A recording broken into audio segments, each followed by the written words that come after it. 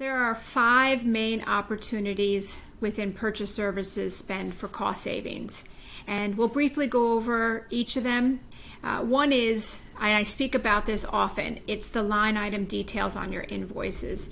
Though that area is so important because you can't benchmark or understand your pricing just from your contract. You need to go back to those invoice line item details and you need to do it uh, from a 12 month historical perspective. So you're going to see things like uh, you know pricing errors or variation changes.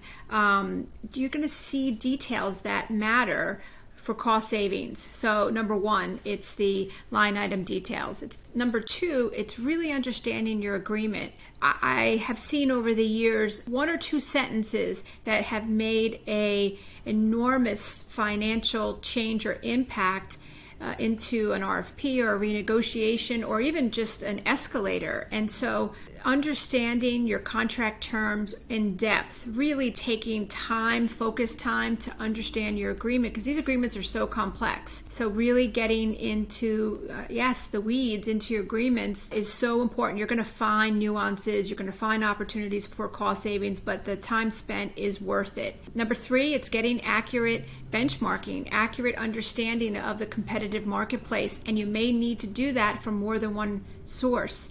Um, two sources or three sources. I can't tell you how many times we've heard, well, we, we, we provided this agreement to a, a benchmarking resource and they couldn't benchmark and they bring it to VIE, and we're like, oh yeah, we've got benchmarking data. In fact, that happened just last week. Um, so you might need more than one benchmarking resource. Uh, number four and five are really key. Um, it's educating supply chain or some other the areas of the hospital about these agreements. These purchase services agreements are so nuanced and they're throughout the hospital, and sometimes we don't understand um, the complexity or the or the or the outsourcing requirements for let's say agreements in revenue cycle or in IT.